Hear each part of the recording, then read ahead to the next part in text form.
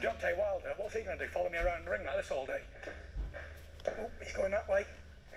No, he's going this way, looking for a punch. And if he can't land it, he's told. Uh, yeah, reaction to that, Deontay?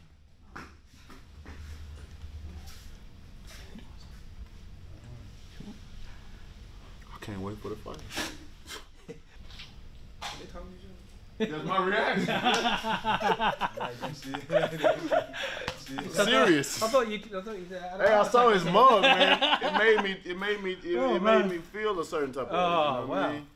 Yeah. This is what we're training for. I'm training for him. So my mindset, my mentality is different right now. When I look at him, I'm looking to hurt him. At, at this point in time, it's, it's all about the pain that I gotta bring come December first. I mean, all the talking is over. This is serious business now. You can talk, come December first, you gotta show some action, and that's my jungle then. So I'm all about action. I'm all about action.